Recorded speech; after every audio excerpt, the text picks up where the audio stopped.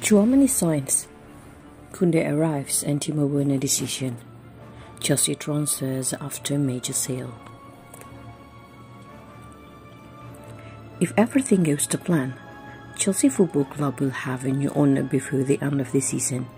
Like we saw at Stamford Bridge almost two decades ago when Ken Bates sold the club to Roman Abramovich, a new era is set to begin supporters hope a suitable buyer is selected to move the club into a city future, they will quickly be thrust into the potential chaos of a summer transfer window. We had it confirmed by the Premier League on Thursday that this summer's window will open on 10 June and will close at 23 BST on 1 September in line with other European leagues.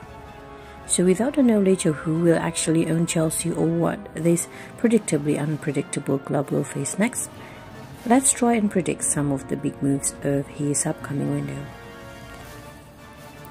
With the hope Chelsea's previous targets remain on the well wish list, and all this madness hasn't accidentally put into the club shredder, the need for a new central midfielder has been clear for some time now.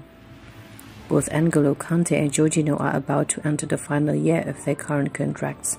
A decision will have to be made for both, having to also address the need for a more defensive-minded midfielder Chelsea has lacked since 2017 when Nemanja Matic left.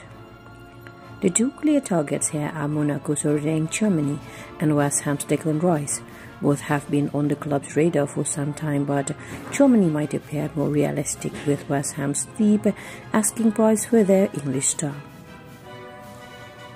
The top transfer priority should be a central midfielder and Tchouameni's growth this season makes him a no-brainer.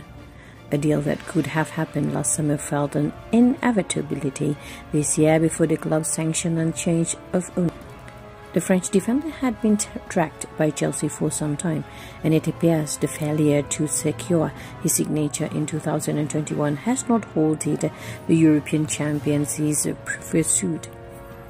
There are reports coming out of Spain that Sevilla has resigned to the reality that they will have to sell this summer and with Chelsea potentially losing both Antonio Rudiger and Andreas Christensen. The need for defensive reinforcements is clear.